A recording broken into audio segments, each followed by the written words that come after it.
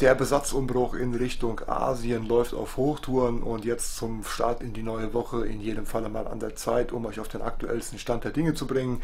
Denn am Wochenende hat es ein paar Veränderungen gegeben. Veränderungen sind nötig und es werden auch noch einige Veränderungen folgen, definitiv. Aber jetzt einfach mal Zeit für ein kleines Update. Ja, starten wir einfach mal im Regal. Da steht momentan nicht mehr alles so, wie es eigentlich stehen soll. Es soll noch ein bisschen Platz geschaffen werden für kleine Becken. Unten wird sich jetzt gar nicht so arg viel verändern. Die beiden Cubes bleiben in jedem Falle bestehen. Dann auch mal optimal für etwas größere Regenbogenfischarten zum Beispiel um die dann zur Zucht anzusetzen. Das Einzige, was ich bei den beiden Cubes noch austauschen werde, ist der Bodengrund. Da geht in jedem Falle schwarzer Sand rein. Ansonsten der Startschuss ist ja eigentlich schon gemacht Richtung Asien mit dem neuen Pastellgrund Zuchtbecken. Auch das Becken bleibt in jedem Falle so wie es ist bestehen. Aber oben drüber, da wird sich einiges verändern. Hier werde ich in jedem Falle Platz machen für 6 mal 30, 20, 20 Becken, um dann insbesondere kleinere Fischarten wie Blauaugen zum Beispiel dann gezielt zur Zucht ansetzen zu können. Das Alu-Steckregal macht mir natürlich so einen Umbau auch ziemlich einfach. Nicht nur super stabil das Ganze, eben auch super flexibel. Ich habe ja darüber schon mal ein Video gemacht, das verlinke ich euch gerne nochmal oben. Das Teil hat jetzt schon einige Jahre auf dem Buckel und auch schon einige Umbauten hinter sich. Und ja, die Ebene für die 35er Beckenhöhe ist jetzt komplett raus. Ich habe jetzt nochmal vier Stangen nachbestellt für eben dann die flachen Becken mit lediglich 20 cm Höhe, also dann Platz für insgesamt sechs Stück, 30, 20, 20 und dann obendrauf geht nochmal ein durchgängiges mit 60, 30, 20. Das mal als aktueller Stand für das Regal. Jetzt allerdings erstmal ein kleines bisschen Zwangspause, bis dass die neuen Stangen da sind und dann wird das Regal wieder komplett zusammengesetzt. Ja, aber auch nicht weiter schlimm, so eine kleine Zwangspause, denn mir fehlen aktuell sowieso noch die kleinen Becken. Ich habe noch einige davon da, allerdings sind die belegt, denn ich möchte natürlich so viel Dekoration, was in den Altbecken drin gewesen ist, auch noch behalten. Also draußen im Flur ist erstmal Chaos Hoch 5, da steht alles irgendwie untergebracht. Die Filter möchten natürlich auch irgendwie weiterlaufen, ganz klar, damit ich da nach Möglichkeit eben auch ähm, ja, so nahtlos wie eben möglich hier dann auch weitermachen kann. Ja, eine Veränderung, die ich in jedem Falle machen möchte in den nächsten Tagen ist am ehemaligen Wasserfall, Mini-Wasserfall, am neuen Green Rock Projekt möchte ich ja fast sagen. Denn von Wasserfall ist ja hier nicht mehr so arg viel übrig. Das Korallenmoos hat alles komplett überzogen. Es ist nicht die Pumpe, die defekt ist. Ich habe es im letzten Update-Video zu dem kleinen Mini-Projekt hier schon mal erklärt. Es ist einfach das Korallenmoos, was alles komplett überwachsen hat und dadurch eben kein Wasserlauf mehr wirklich zu sehen ist. Ja, da soll es in jedem Fall eine kleine Veränderung geben, um das Ganze noch ein bisschen besser in Szene zu setzen, um auch vor allen Dingen die Reinigungsarbeiten mir so ein bisschen einfacher zu machen. Das Ganze wird ein etwas größeres Becken werden, 40er Länge, 20er Tiefe, 15er Höhe. Denn ihr könnt es vielleicht hier sehen an den Seitenscheiben, das ist doch extrem schwierig, da ordentlich ranzukommen, das Ganze ordentlich zu putzen. Deswegen wird das Ganze in ein etwas größeres Becken umziehen. Das Becken ist im Übrigen auch schon da, das ist heute Morgen gekommen, steht hier auf dem Tisch. Lasst euch von der Größe des Kartons nicht blenden. Wie gesagt, 40, 20 auf 15. 12 Liter Volumen, also alles in allem und in jedem Falle ein paar bessere Möglichkeiten, das Ganze dann ordentlich in Szene zu setzen. Ja, sehr wahrscheinlich dann auch mit Besatz, also ein paar Neocaridina Zwergkanälen kann ich mir dann sehr, sehr gut in dem Becken vorstellen. Also da wird in jedem Falle nochmal etwas Neues kommen. Ja, gut verpackt das Ganze. Ich habe schon mal ordentlich gerüttelt und geschüttelt. Also Bruchglas scheint jetzt hier nicht drin zu sein. Das Becken kommt von Aquarienbau Terra Natur. Findet ihr im Web unter www.terra-natur.eu. War nicht meine erste Bestellung bei Terra Natur und wird auch mit Sicherheit nicht die letzte Bestellung gewesen sein.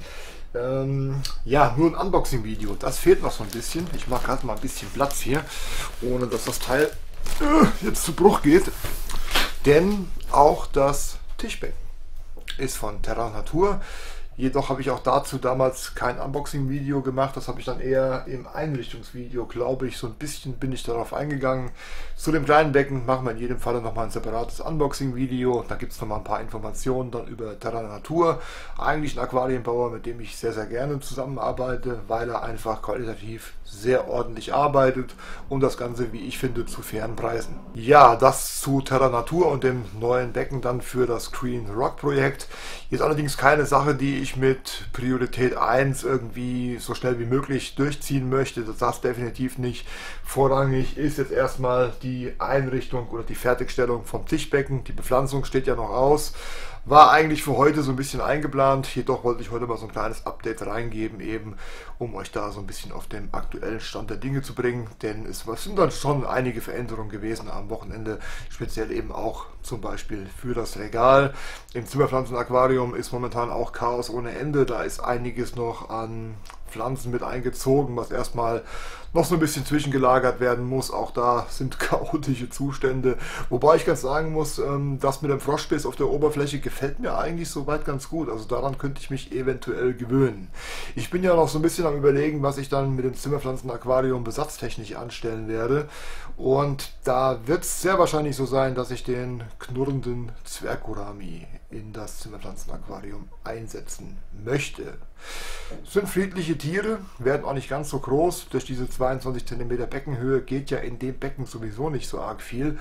Ich hatte erstmal kurzzeitig über Metakas nachgedacht, um das Ganze so ein klein wenig in Richtung Indoor-Teich äh, gehen zu lassen. Allerdings, ja, die Tiere vermehren sich ganz ordentlich mit Dackers und da brauchst du dann in jedem Fall doch ein bisschen mehr Wasservolumen. Durch die 60-40 Grundfläche wäre natürlich einiges vorhanden, allerdings ist auch einiges zugebaut. Da denke ich mal, der knurrende Zwergurami ist da schon die bessere Alternative. Ja, ansonsten das Pilzbecken, das wird in jedem Falle geräumt. Da kommt was Neues, kommt ein Kallaxbecken durchgängig. 76 mal 38 cm dann in der Grundfläche und in der Höhe wahrscheinlich 30 oder 35 cm.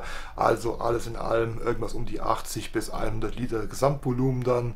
Und ich denke mal, damit lässt sich dann auch ordentlich etwas machen. Vielleicht in Richtung Pseudomogilarten.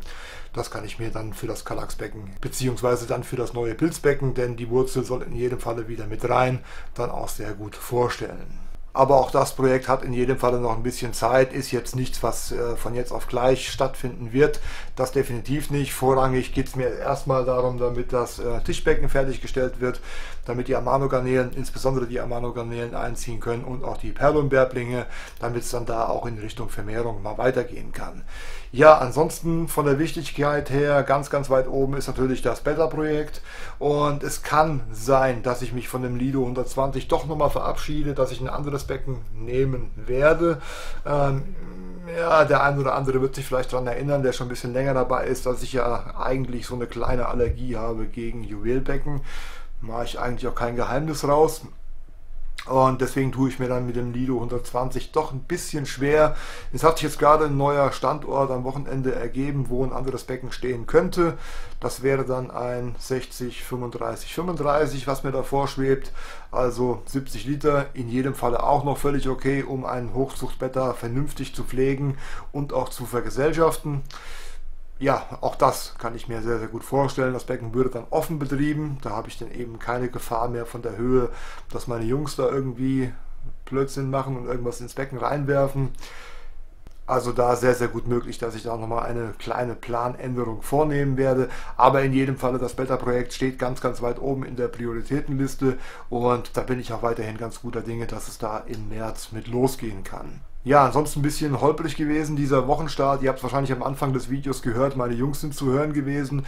Die waren heute den kompletten Tag über da, weil in der Tagesbetreuung ein bisschen was krankheitsbedingt nicht so rund läuft. Und ich hoffe mal, das Ganze geht morgen wieder seinem ganz normalen Weg. Und dann wird es auch hier mit der Bepflanzung vom Tischbecken dann weitergehen. Die Pflanzen, die am Wochenende ja gekommen sind, sind jetzt erstmal im Flur draußen untergebracht, in den unzähligen Boxen, die da überall noch rumstehen, damit die Pflanzen auch in jedem Falle erstmal versorgt sind. Ja, aber wie gesagt, ich möchte das Becken in jedem Falle die Woche noch an den Start bringen und idealerweise auch noch diese Woche hier die Amano-Garnelen dann noch einsetzen, weil es einfach weitergehen soll. Dann am Regal geht es ja sowieso Schritt für Schritt jetzt weiter. Erstmal abwarten angesagt, bis dass die ähm, ja, neuen Streben da sind. Jetzt kam ich gerade nicht drauf, was ich eigentlich sagen wollte, die, bis dass die Streben da sind.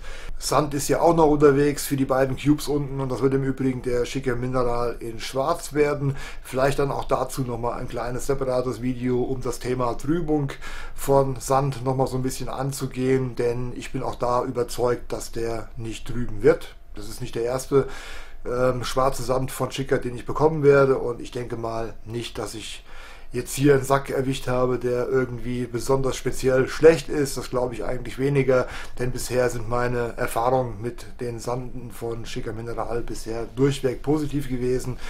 Besser als mancher Marken Sand, das in jedem Falle. Und ja, wahrscheinlich wird es dann dazu nochmal ein kleines separates Video geben. Ja, ansonsten Bachlauf Aquarium, da ist alles soweit ja, wie gehabt eigentlich. Auch hier muss ich nochmal ran, den Besatz natürlich rausholen. Dafür brauche ich aber erstmal im Flur ein bisschen Platz. Die unzähligen Boxen, die da rumstehen, die schlucken nun mal den Platz weg. Und ja, mehr Platz habe ich nicht. ist einfach so. Mehr Platz ist einfach nicht. Ähm, von daher, bis ich jetzt hier besatztechnisch so weit bin, dass ich sagen kann, hier können neue Tiere rein, müssen natürlich erstmal die alten raus, vollkommen klar. Aber dafür muss erstmal dann im Flur so ein bisschen rückgebaut werden. Ja, dann hätten wir noch das kleine Mini-Projekt mit der Bergpalme. Das geht ja jetzt in die zweite Woche und das schaut soweit eigentlich ganz ordentlich aus. Es gibt an manchen Blättern so ein paar unschöne Stellen. Das sind äh, in der Regel Blätter, die jetzt dauerhaft Kontakt hatten mit Wasser und das scheint sie nicht ganz so zu mögen. Aber ansonsten steht die Pflanze richtig ordentlich da. Es ist gut möglich, dass ich das Projekt hier integrieren werde in das neue Green Rock Projekt. Also dann der mit Korallenmoos überzogene Lavafelsen dann in Vergesellschaftung quasi mit der Bergpalme. Kann ich mir sehr, sehr gut vorstellen. Mal schauen, was mir da am Ende einfällt. Ja, das wäre dann im Übrigen auch der Platz, wo ich mir da 60, 35, 35 Becken sehr, sehr gut vorstellen könnte. Dann als Beta-Projekt. Alles in allem komme ich hier auf eine Höhe von 1,25 Meter. Also da wäre dann der Besatz in jedem Falle sicher vor irgendwelchen Wurfattacken meiner Jungs. Und das war ja auch damals die Hauptintention, weshalb ich sagte, okay, im Flur das Lido 120 dann als geschlossenes System könnte ich mir ganz gut vorstellen, eben um diese Wahrscheinlichkeit dann zu minimieren, dass da meine Jungs irgendwelche Blödsinn machen machen. Wäre jetzt hier an dem Standort definitiv anders umsetzbar und von daher, ja, ich werde sehr, sehr wahrscheinlich dann vom Lido 120 Abstand nehmen und das Ganze als offenes Becken, als offenes Projekt eben dann zu betreiben, so wie ich es eigentlich auch ganz gerne machen möchte. Ja, also das mal dazu. Es gibt einige Veränderungen, die in jedem Falle noch kommen werden innerhalb der nächsten Zeit, um dann besatzmäßig in Richtung Asien absolut auf Kurs zu sein. Ja, der Startschuss ist ja gemacht schon mit dem Pastellkontur Zuchtbecken, das in jedem Falle. Und jetzt wird noch die Amano-Garnele und der Perlunberbling nachziehen, dann im Tischbecken. Ich bin da ganz guter Dinge, dass das die Woche noch in jedem Falle mit der Amano-Garnele dann klappen wird. Ähm, die Amano-Kanäle vorab reinschicken, habe ich kein Problem mit. Mit den Perlenberblingen werde ich in jedem Falle dann noch mal ein paar Tage abwarten. Auch wenn das Becken insbesondere mit dem Holz Material bekommen hat, was alles schon mal in einem laufenden Becken eingebracht gewesen ist und natürlich auch noch einen gut eingelaufenen Filter bekommen hat, so gehe ich hier lieber auf Nummer sicher und warte dann mit dem Fischbesatz insbesondere einfach noch mal ein paar Tage ab. Wie gesagt, Amano-Garnelen vorab habe ich definitiv kein Problem mit. Da sind die Wasserwerte in jedem Fall okay.